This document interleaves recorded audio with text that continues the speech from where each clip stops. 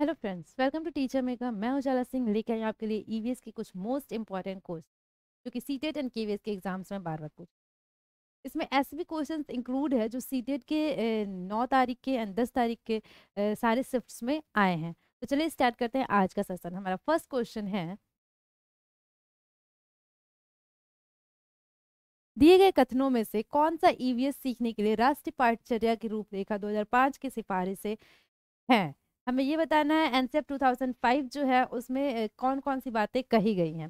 तो एनसीएफ 2000 2005 से 9 जनवरी को और 10 जनवरी को बहुत सारे क्वेश्चंस पूछे गए हैं। जैसे कि बता दूँ मैं कि टीसीई का फुल फॉर्म पूछा गया है। कंटिन्यूस एंड कॉम्प्रिहेंसिव एवोल्यूशन इसका फुल फॉर्म पूछा गया है। इसके अलावा आ, आ, 2020 2020 एंड ईपी 2020 से भी न्यू एजुकेशन पॉलिसी 2020 से भी क्वेश्चंस पूछे गए हैं। जैसे कि उसमें परख का फुल फॉर्म आया है एंड निपुण का फुल फॉर्म पूछा गया है। तो आ, इन सारे क्वेश्चंस को आप देख कर पेपर में जाएँगे। चलिए आज का हमारा हमारा फ़र्स्ट क्वेश्चन है ईवीएस से। कि राष्ट्रीय पाठचर्या की रूपरेखा 2005 में किसकी सिफारिशें की गई हैं? तो हमें बताना है सीखने के लिए स्कूल घर और समुदाय के बीच सुनिश्चित सीमाएँ होना रटकर सीखने को हतोत्साहित करना किताबी शिक्षा से प्रस्थान स्कूल में बच्चों के जीवन को स्कूल के बाहर उनके जीवन से जोड़ा जाना चाहिए। तो ये बात तो बिल्कुल सही है। आ, सारे ही एजुकेशन पॉलिसीज़ में यही बोला जाता है कि जो बच्चे हैं, उनका जो ज्ञान है, वो बाहरी ज्ञान से जोड़ना चाहिए। मीन्स कि उनका पूर्व ज्ञान और जो अभी पढ़ाया जा रहा है, वो ज्ञान आपस में जोड़कर उनको पढ़ाना चाहिए। जो भी उनसे रिलेटेड है, जिसको वो रिलेट कर सके चीज़ों को, वैसे हमें पढ़ाना चाहिए। किताबी शिक्षा से प्रस्थान, ये बात भी बिल्कुल सही है। हमें सिर्फ़ बच्चों को किताबी ज्ञान नहीं देना है, हमें किताब के बाहर की भी ज्ञान देनी है। ये बात भी बिल्कुल सही है, इसका भी प्रोत्साहन किया गया है, सिफारिश की गई है। रट कर सीखने को हतोत्साहित करना, ये बात बिल्कुल सही है, हमें रट कर सीखने को डिस्करेज किया गया है एंकरेज नहीं किया गया है रट कर सीखने को डिस्करेज करना चाहिए। रट कर सीखना बेस्ट मेथड नहीं होता है सीखने का तो ये बात भी बिल्कुल सही है। सीखने के लिए स्कूल, घर और समुदाय के बीच सुनिश्चित सीमाएँ होना ये नेगेटिव वर्ड है कोई भी सीमा नहीं होनी चाहिए। सीखने के लिए कोई सीमा नहीं हो सकती है। बच्चा जहाँ से चाहे जैसे चाहे वैसे सीख सकता है। ये ऑप्शन हमारा गलत हो जाएगा। तो हमारा ऑप्शन हो गया बी सी एंड डी। तो ऑप्शन नंबर डी सही हो जाएगा बी सी एंड डी। तो N C F two thousand five के रिगार्डिंग uh, कौन कौन सा सही है? बी सी एंड डी सही है। नेक्स्ट क्वेश्चन है क्वेश्चन नंबर टू। पार्ट पर्यावरण अध्ययन के अध्यापक को करना चाहिए। एक ईवीएस का जो टीचर होता है, उसे क्या करना चाहिए, हमें ये बताना है। ऑप्शन नंबर ए, पाठचर्या का निर्माण, बी, पाठचर्या का पालन, पाठचर्या का हस्तांतरण या पाठचर्या का क्रियान्वयन। तो जो भी टीचर होते हैं तो पाठचर्या का निर्माण भी उन्हें ही करना पड़ता है। हमारा ऑप्शन ए सही हो जाएगा। कैसे? क्योंकि जो टीचर है, वो बच्चे को समझ सकता है। बच्चे के, बच्चों से डायरेक्ट डील वो कर रहा है। तो टीचर क्या करेगा? बच्चे की जितनी एबिलिटी है, सीखने की जो क्षमता है, उसके अकॉर्डिंग पाठचर्या का निर्माण करेगा। तो ऑप्शन नंबर ए हमारा सही हो जाएगा। नेक्स्ट क्वेश्चन है, क्वेश्चन नंबर थ्री। एक पर्यावरण अध्यापक अपने विद्यार्थियों के एक पर्यावरण संरक्षक कैसे बना सकता है? सर्वेश संभावना चुनिए। हमें अपने विद्यार्थियों को क्या बनाना है? पर्यावरण संरक्षक बनाना है। इसकी पर्यावरण की रक्षा करने वाला बनाना तो हमें क्या करना पड़ेगा? उन्हें वस्तुओं के पुनः उपयोग, पुनः चक्रण में लाने को कहना, उन्हें नए संसाधन विकसित करने को कहना, उन्हें इसके इलाके के एक पेड़, पौधे, पेड़ का देखभाल करता बनाकर, उन्हें प्रकृति को हानि ना पहुँचाने के लिए कहकर। तो कभी भी हम किसी बच्चे को कुछ सिखाते हैं, अगर हमें किसी चीज़ की रक्षा करनी उनको सिखानी है तो हमें क्या करना चाहिए? उनको कहना चाहिए कि तुम इसको देखभाल करो। जैसे कि बच्चा, जैसे कि आप एग्ज़ाम्पल ले लीजिए, अगर आप कोई भी एनिमल अपने घर में पालते हैं तो आप उसकी अच्छे से केयर करते हैं, वो आपके फैमिली का मेंबर बन जाता है। तो कभी भी हमें पर्यावरण संरक्षक बनाना है अगर बच्चे को तो हमें क्या करना पड़ेगा? बच्चे को कहना पड़ेगा, तुम इस प्लांट का, इस गार्डन का देखभाल करो। हमारा राइट ऑप्शन हो जाएगा ऑप्शन नंबर सी। उन्हें अपने इलाके के एक पौधे, पेड़ का देखभाल करता बनाकर।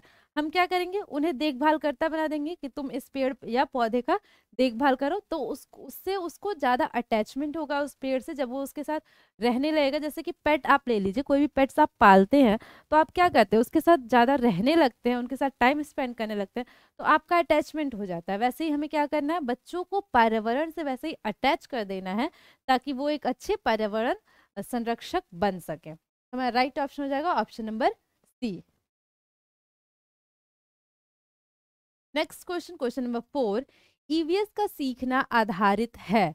हमें ये बताना है ईवीएस हम कैसे सीख सकते हैं? हम बच्चों को कैसे ईवीएस सिखा सकते हैं? सरल से, जटिल के सिद्धांत पर, जटिल से, सरल के सिद्धांत पर, वैश्विक से, स्थानीय के सिद्धांत पर या अमूर्त से, मूर्त के सिद्धांत पर। तो कभी भी हम बच्चों को कुछ भी सिखाते हैं, वो कैसे सिखाते हैं? सरल से, जटिल। पहले बच्चों को हम इजी चीज़ें सिखाएँगे उसके बाद हम धीरे धीरे करके उसको हार्ड चीज़ें सिखाएँगे। तो जो इसका ईवीएस सीखने का सिद्धांत क्या है? सरल से जटिल का सिद्धांत है। जटिल से सरल हम बच्चों को नहीं सिखाते हैं वैश्विक से स्थानीय। ईवीएस सिखाने का एक और मेथड होता है सिद्धांत होता है प्रिंसिपल्स होते हैं क्या? स्थानीय से वैश्विक। पहले हम बच्चों को स्थानीय के मीन्स की जो स्थानीय चीज़ है उसके बारे में बताते हैं। जैसे कि सपोज़ अगर कोई बच्चा आ, आगरा में रह रहा है तो पहले हम स्थानीय चीज़ें उसको सिखाएँगे, आगरा ताजमहल के बारे में या फिर उसके आसपास के पर्यावरण के बारे में। उसके बाद हम उसे वैश्विक लेवल पे ले जाएँगे, मीन्स कि उसके बाद आगरा से हट के दूसरे और स्टेट्स, फिर और पूरे देश के बारे में, फिर और कंट्रीज़ के और वर्ल्ड के, पूरे वर्ल्ड के बारे में हम उसे बताएँगे। तो हम क्या ईवीएस कैसे सिखाते हैं? स्थानीय से वैश्विक होता है ईवीएस का जो सिखाना होता है, ना कि वैश्विक से स्थानीय, ये ऐसे होता है, स्थानीय से वैश्विक। हमारा ये ऑप्शन भी गलत हो गया। अमूर्त से मूर्त। कभी भी हम बच्चों को सिखाते हैं तो मूर्त से अमूर्त चीज़ें सिखाते हैं। पहले मूर्त चीज़ें जिसे हम देख सकते हैं, जो हमारे सामने हो। ईवीएस कभी भी हम पढ़ाते हैं तो पहले बच्चों को प्लांट्स के बारे में हम पढ़ाएँगे। उसके बाद हम फोटोसिंथेसिस के बारे में पढ़ाएँगे कि क्योंकि फोटोसिंथेसिस हमें दिखता नहीं है कि प्लांट्स कैसे खाना बनाते हैं, ये हम नहीं देख सकते हैं। तो पहले हम बच्चों को प्लांट्स के बारे में पढ़ाएँगे, उसके पार्ट्स पढ़ाएँगे, उसके बाद हम क्या पढ़ाएँगे? फोटोसिंथेसिस के बारे में पढ़ाएँगे। तो पहले हम क्या करते हैं? मूर्त से अमूर्त की ओर पढ़ाते हैं। तो ये ऑप्शन भी हमारा गलत हो गया। राइट right ऑप्शन क्या हो जाएगा? ईवीएस सिखाने का सिद्धांत क्या है? सरल से जटिल की ओर। चलते हैं नेक्स्ट क्वेश्चन की ओर क्वेश्चन नंबर फाइव हम केवल दो मीटर की दूरी तक ही देख सकते हैं, लेकिन गिद्ध चील और बाज कितने मीटर दूर तक देख सकते हैं? हमें ये बताना है, अगर हम हम मानव है, मानव अगर दो मीटर की दूरी तक देख सकता है तो गिद्ध चिल और बाज, ये तीन जो पक्षी है, वो कितने मीटर की दूरी तक देख सकते हैं? तो जो इन सब की दृष्टि होती है, वो अगर मानव की दृष्टि एक मीटर है तो इनकी चार गुनी होती है। मानव जितना देख सकता है, उसके चार गुना ये देख सकते हैं। तो इनकी चार गुना क्या हो जाएगा? चार मीटर देख सकते हैं। वैसे यहाँ पूछा अगर मानो दो मीटर देख सकता है तो गिद्ध, चील और बाज क्या है? वो चार गुना ज़्यादा देख सकते हैं तो दो का चार गुना क्या हो जाएगा? आठ हो जाएगा। कितना देख सकते हैं? आठ मीटर तक दूर वो देख सकते चलते हैं नेक्स्ट क्वेश्चन क्यों क्वेश्चन नंबर सिक्स कुजम्मा किस भाषा में पिता के छोटे भाई की पत्नी होती है? हमें ये बताना है, किस भाषा में कुजम्मा जो है, वो क्या है? पिता के छोटे भाई की पत्नी। तो पिता के छोटे भाई की पत्नी को क्या कहते हैं? कुजम्मा कहते हैं, किस भाषा में कहते हैं तेलुगु, तमिल, मलयालम एंड कन्नड़। तो जो कुजम्मा होता है, वो मलयालम का भाषा है। किसको कहते हैं? पिता के छोटे भाई की पत्नी को। जैसे कि हमारे यहाँ पिता के छोटे भाई को क्या कहते हैं? चाचा कहते हैं। अगर हम मान ले चाचा, कौन है? पिता के छोटे भाई।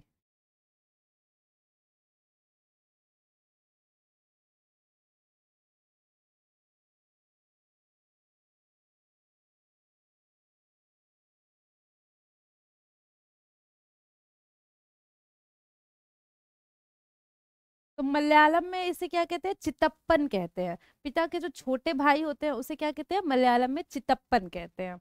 चितप्पन, ये कहाँ का, क्या है? मलयालम। मलयालम में।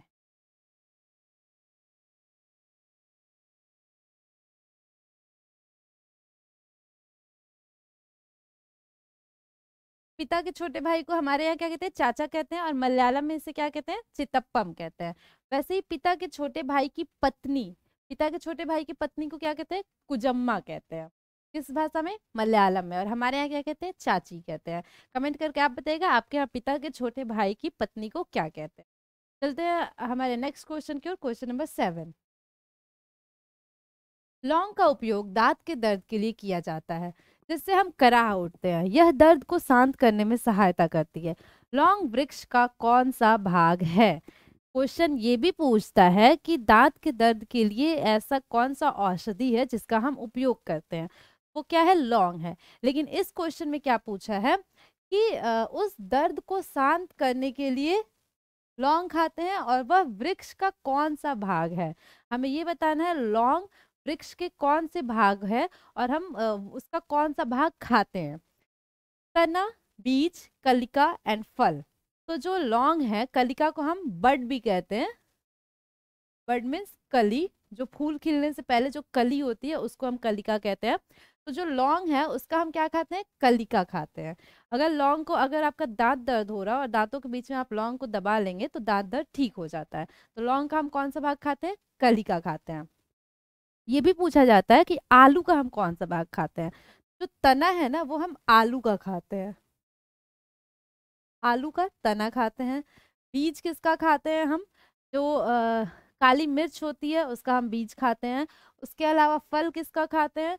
तो फल तो जितने भी फल होते हैं, सेव, केला, ये सारी चीज़ें फल होती हैं, ये इसका हम फल खाते हैं। लौंग का हम क्या खाते हैं? कलिका, यानी कि जो उसका बड होता है, कली जो होती है, उसको हम खाते हैं। नेक्स्ट क्वेश्चन है क्वेश्चन नंबर एट, नमक, चीनी, तेल और मसालों का उपयोग किसके लिए किया जाता है? हमें ये बताना है, नमक, चीनी, तेल, मसाला, ये किस चीज़ के लिए उपयोग किया जाता है? स्वाद बढ़ाने के लिए, भोजन को अधिक समय तक संरक्षित रखने के लिए, या दोनों या कोई नहीं। तो कभी भी हम नमक, चीनी, तेल और मसालों का यूज़ करते हैं तो ये एक तो स्वाद बढ़ाने का काम आता है। तो हमारा ये ऑप्शन सही हो जाएगा। दूसरा, हम भोजन को संरक्षित करने के लिए भी इसका यूज़ करते हैं। जैसे कि आप अचार ले लीजिए। जो पिकल्स हम बनाते हैं, अचार बनाते हैं तो उसमें क्या होता है? नमक का यूज़ करते हैं चीनी का भी हल्का सा यूज़ करते हैं तेल का यूज़ करते हैं और मसाला का यूज़ करते हैं। और क्या करते हैं उस अचार को हम सालों साल संरक्षित करके रख सकते हैं उसको हम स्टोर कर सकते हैं। तो किस लिए यूज़ होता है इन सब का यूज़? हम आ, किसी चीज़ को स्टोर करने के लिए भी कर हमारा राइट ऑप्शन हो जाएगा दोनों option number C. Next question question number nine ozone छिद्र किससे संबंधित है? हमें ये बताना है ओजोन होल जो है वो किससे संबंधित है? ओजोन परत में घनत्व में वृद्धि से, इनमें से कोई नहीं। समताप मंडल में ओजोन परत की मोटाई में कमी से शोभ मंडल में ओजोन परत की वृद्धि से। हमारा राइट ऑप्शन हो जाएगा ऑप्शन नंबर सी। इससे हमें ये पता चलता है कि ओजोन मंडल किस ओजोन परत जो है वो किस मंडल में है? समताप मंडल में। एक क्वेश्चन और आपको मिल गया इससे। और ओजोन मंडल में ओजोन परत की, समताप मंडल में ओजोन परत की मोटाई की कमी। जो ओजोन परत है उसका क्या होता है, डिप्रेशन होते जा रहा है दिन पे दिन, उसकी जो मोटाई है वो घटती जा रही है। तो इस इस, ये किससे संबंधित है? ओजोन छिद्र से संबंधित है। इसे हम क्या कहते हैं? ओजोन छिद्र कहते हैं। नेक्स्ट क्वेश्चन है क्वेश्चन नंबर टेन। ये भी ओजोन से ही संबंधित है। अंतरराष्ट्रीय ओजोन दिवस कब मनाया जाता है? हमें ये बताना है कि इंटरनेशनल ओजोन डे कब मनाया जाता है? 16 सितंबर, पाँच सितंबर 20 सितंबर या 14 सितंबर। तो ओजोन दिवस कब मनाया जाता है? 16 सितंबर को ओजोन दिवस मनाया जाता है। इसका जो थीम, हर बार अलग अलग थीम होते हैं।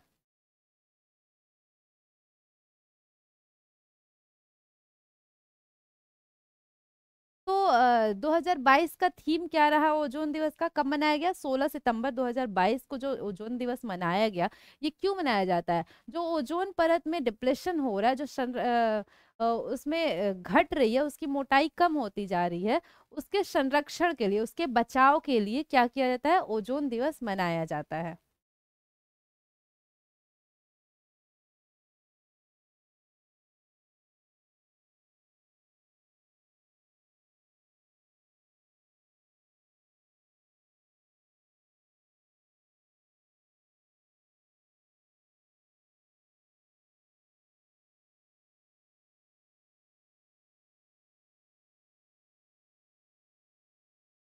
हर बार एक थीम दिया जाता है।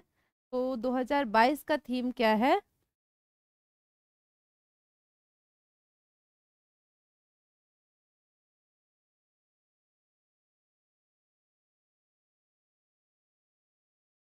2022 में जो ओजोन दिवस मनाया गया, उसका थीम था पृथ्वी पर जीवन की रक्षा करने वाला वैश्विक सहयोग। यानी कि हर विश्व हर विश्व विश्व, पूरा विश्व मिलके एक सहयोग दे, जिससे पृथ्वी पर जीवन की रक्षा हो सके, यानी कि अगर ओजोन लेयर जो है वो अगर पतला हो जाएगा, उसमें होल हो जाएगा तो फिर हमारे लिए वो बहुत ही ज़्यादा हार्मफुल होंगे। जो अल्ट्रावायलेट रेज है वो अंदर आ जाएँगी और फिर वो हमारे स्किन के लिए बहुत ही हार्मफुल होता है और वो हमारे बहुत ही ज़्यादा हार्मफुल हो। तो इसलिए क्या किया जाता है? जो ओजोन परत है उसके संरक्षण के लिए उसमें जो छिद्र हो रहा है, होल हो रहा है, उसको कम करने के लिए, उसको खत्म करने के लिए ये दिवस मनाया जाता है। ये दिवस सबसे पहले 19 दिसंबर 1994 को मनाया गया था। 1994 को एक संयुक्त राष्ट्र महासभा की एक बैठक हुई थी, जिसमें ये बताया गया था कि 16 दिसंबर को ये दिवस मनाया जाएगा। किसकी बैठक हुई थी? संयुक्त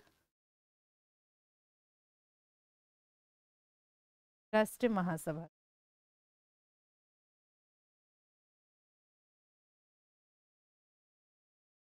इस बैठक में ये बताया गया था कि 16 सितंबर को ओजोन दिवस मनाया जाएगा। क्यों मनाया जाएगा? लोगों को जागरूक करने के लिए कि ओजोन परत का जो है हमें संरक्षण करना है। नेक्स्ट क्वेश्चन है हमारा क्वेश्चन नंबर इलेवन लोहार लोहे के टुकड़े को विभिन्न औज़ार में कैसे बदलता है? हमें ये बताना है, लोहार जो है, लोहार कौन होता है? जो लोहे का काम करता है तो वो लोहे को विभिन्न औज़ार में कैसे बदलता है? तो हमारा ऑप्शन नंबर ए है, गर्म करके और फिर वंचित आकार में काट कर गर्म करके और फिर उसे वंचित आकार में पीट कर अचानक गर्म करके, उसके बाद अचानक ठंडा करके, इनमें से कोई नहीं। तो ऐसा लोहार क्या करते हैं? पहले उस लोहे को गर्म करते हैं, उसके बाद उसको पीट कर जो गर्म हो, गर्म करने पे वो थोड़ा सॉफ्ट हो जाता है लोहा जो होता है, उसके बाद उसको पीट के जो भी आकार देना होता है उसे दे देते हैं। तो ऑप्शन नंबर बी सही हो जाएगा। आकार में पीट कर, गर्म करके जब वो थोड़ा सा सॉफ्ट हो जाएगा, मुलायम हो जाएगा लोहा तो क्या करते हैं? उसको पीट कर जो आकार देना होता है वो आकार दे देते हैं। तो लोहार कैसे औज़ार बनाते हैं? ऐसे ही औज़ार बनाते हैं। ऑप्शन नंबर बी सही हो जाएगा। Next question question number twelve. Himalaya का सबसे लंबा ग्लेशियर है। हमें ये बताना है, हिमालय का सबसे लंबा ग्लेशियर कौन सा है? मचोई, नुब्रा, सियाचिन और रेमो। तो जो सियाचिन ग्लेशियर है, ये हिमालय का सबसे लंबा ग्लेशियर है। और ये कहाँ है? तो लद्दाख में है ये ग्लेशियर। और किस पर्वत श्रृंखला पे है? किस पर्वत श्रृंखला में है? तो काराकोरम।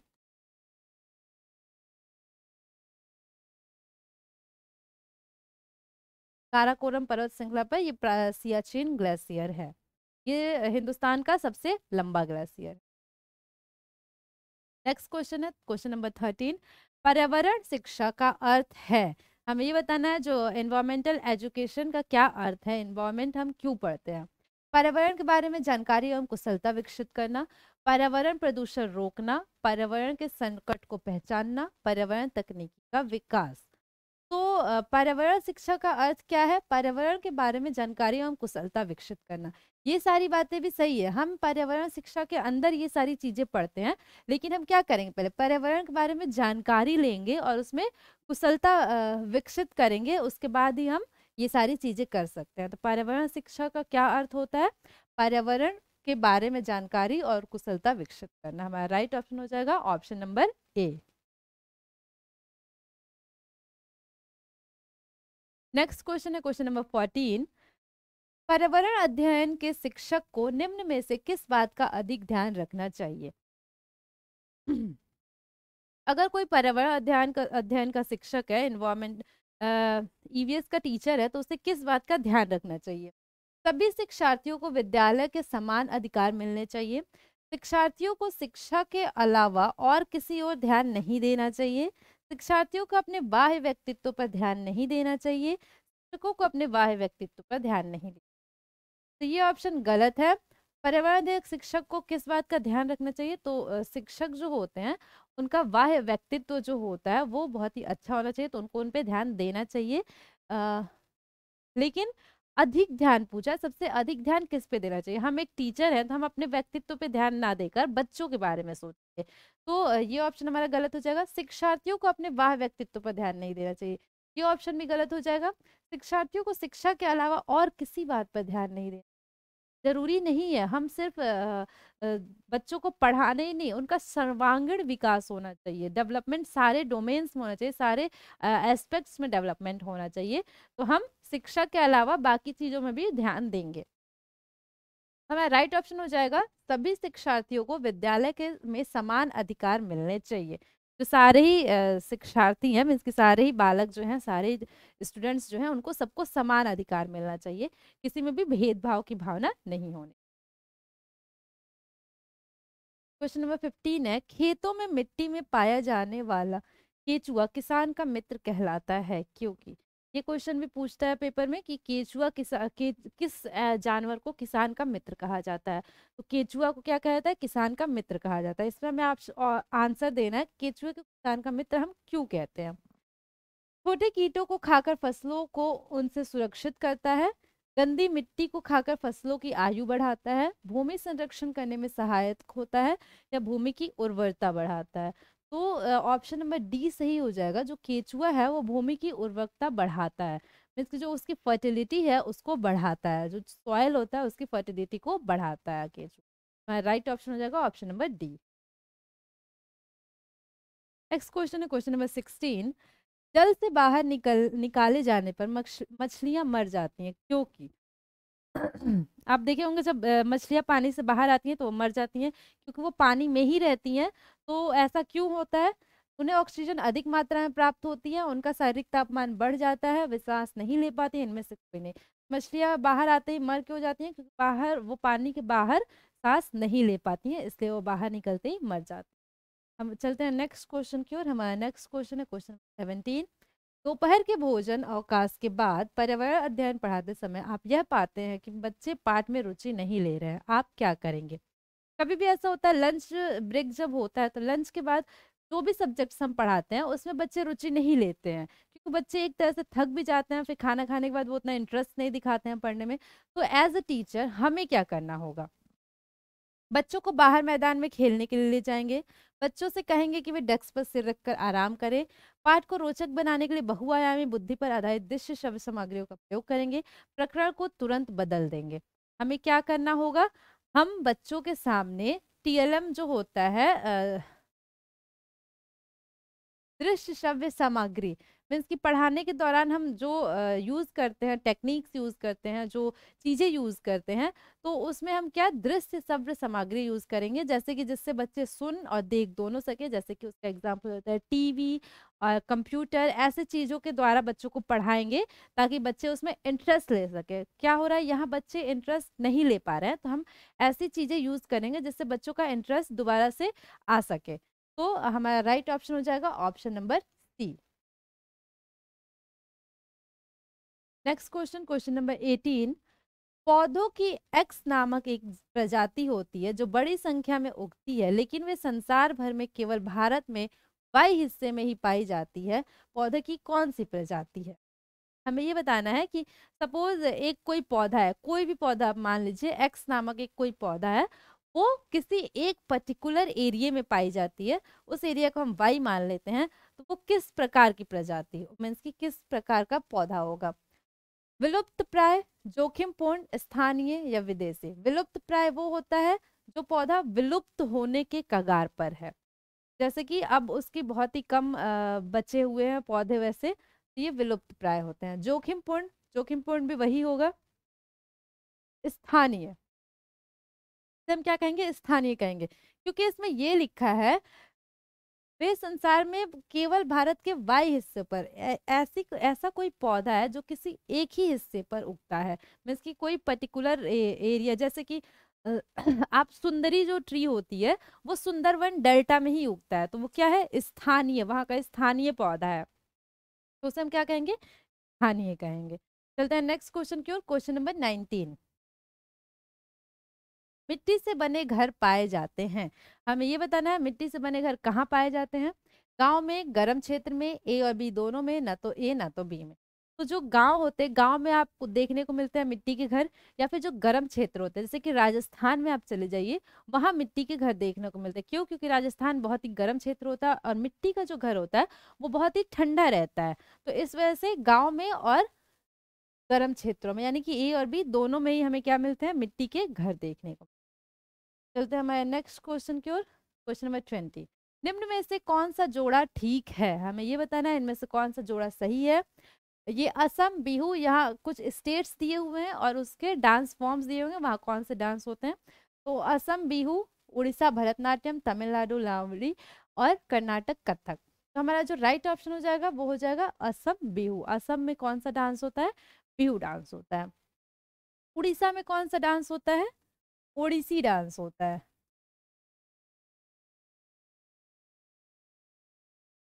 ऐसे ही तमिलनाडु में कौन सा डांस होता है? भरतनाट्यम। तमिलनाडु में क्या होता है? भरतनाट्यम होता है। और कर्नाटक में क्या होता है? कर्नाटक में एक होता है यक्षगान नृत्य हो, नृत्य होता है।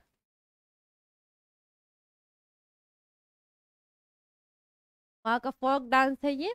ये स्टेट्स हो गया और ये डांस हो गया, इसमें सही कौन सा असम में बिहू डांस होता है, ये राइट ऑप्शन था। इससे सीटेड में एक क्वेश्चन और पूछा था कि ऐसा कौन सा डांस है जो